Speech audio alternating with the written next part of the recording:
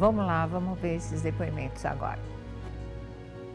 Olá, minha amiga Sônia, é, meus amigos da Rede TV. Não há dúvida que a Rádio Bandeirantes e o Grupo Bandeirantes é, pedem a sua maior voz no jornalismo é, da rádio, por exemplo. Né? O Zé Paulo ele representou para a Rádio Bandeirantes o mesmo que o Boechat representou para a Rede Bandeirantes de televisão. Então, é, nós estamos realmente chocados. E principalmente com é, o fato de que essa doença que já atinge 2 milhões de brasileiros faz mais uma vítima, que mostra desde o começo que a humanidade corre um risco enorme, que as pessoas têm que se cuidar, têm que usar máscara, manter distanciamento, porque enquanto a doença é, estava matando nas periferias ou em lugares longínquos do Brasil, ou aqui mesmo, dentro da cidade de São Paulo, muitos invisíveis que ninguém conhece. Enquanto isso acontecia, as pessoas não acreditavam muito nessa ameaça. Mas ela é muito real. Real mesmo. É uma pena a morte do, do Zé. Ele era uma referência para o jornalismo do Grupo Bandeirantes. Ô, Sônia Abrão, antes de mais nada, prazer falar com você. Há quanto tempo que a gente não se vê?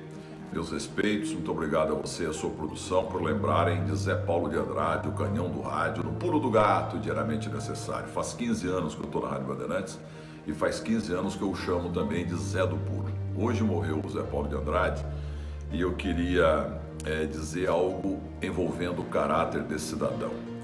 Porque ele está doente há um bom tempo, ele tinha um tubo de oxigênio do lado, fazendo Rádio Bandeirantes de casa já há muitos anos. E ele é um cara muito generoso, a ponto que eu tive um piripaque que você anunciou aí também. Fui para o São Luís naquele domingo à noite, depois fui para o Sírio Libanês. E o Zé Paulo de Andrade em casa, antes do Covid, ele me mandou o WhatsApp dizendo: Olha, Milton, porque ele é um especializado em coração. Entendeu, Milton? Você tem que procurar tal médico. Eu sei que você está bem assistido aí no Sírio, mas tem que procurar tal médico.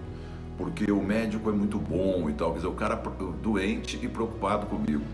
Ele ajudou meu filho Fábio quando começou a carreira no jornalismo na Rádio Bandeirantes. Ajudou Rodrigo Bocardi, hoje grande apresentador, entendeu? Que não queria falar. Ele era redator da TV Bandeirantes e da Rádio Bandeirantes. Grande Rodrigo Bocardi, que fez hoje uma homenagem maravilhosa para o Zé Paulo de Andrade, a família Bandeirantes, como você está fazendo também. E eu aproveito para te abraçar e te cumprimentar pela preservação da memória artística do país. Querida Sônia, inicialmente, meus agradecimentos em nome de todos os companheiros da Bandeirantes, pela sua lembrança de querer ouvir alguma coisa sobre José Paulo de Andrade, o grande jornalista que faleceu hoje. A nossa amizade vem desde que Zé Paulo tinha 17 e 18 anos, na Rádio América, onde eu estava exercendo a função de diretor, e Zé Paulo apresentava um programa com a Tiro Recall, um programa de esportes. Daí na troca de ideias sempre, opiniões ou críticas sobre o programa, que ele recebia sempre com bom humor, nasceu esta amizade que se prolongou até os dias atuais, até hoje, e ficará eternamente na lembrança. Eu fico muito grato a você, ao seu programa, à sua emissora, agradeço a atenção dos seus telespectadores e conclamo todos a seguir esse exemplo nobre, esse exemplo de retidão, de qualidade, de trabalho insano, para que a vida do brasileiro seja cada vez melhor. Muito obrigado. Então a gente que agradece aí, não é? Salomão Esper, Milton Neves, muito Rádio, obrigada, né?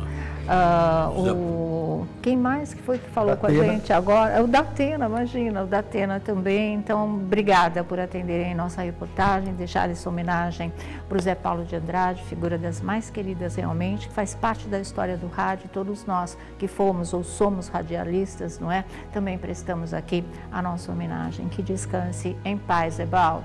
Cumpriu lindamente aí a sua missão, tá certo?